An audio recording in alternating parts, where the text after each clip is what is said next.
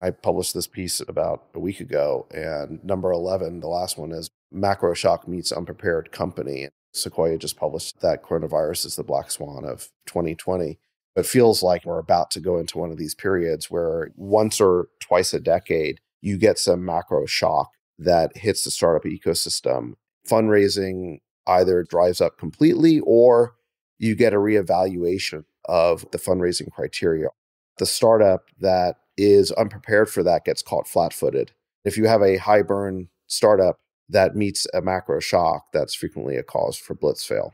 You thought there was always going to be a bigger, better deal out there, and you raised your burn accordingly. And then all of a sudden you have a macro shock. That's the recipe for running out of money and dying. Since I've been in Silicon Valley over the past 20 years, we've really had two of these mega macro shocks. The first one was the dot com crash that started in 2000, but really went on until about 2002.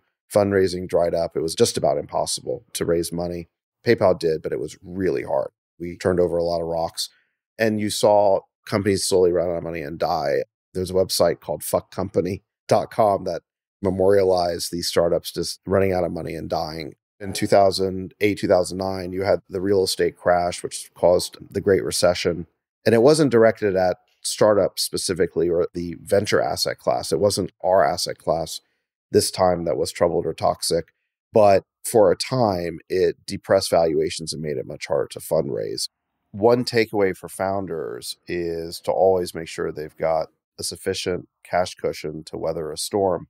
And if it's necessary to cut burn, do it as soon as possible so that you can start to benefit from the additional runway. Because the sooner you cut, the more runway you get on the other side.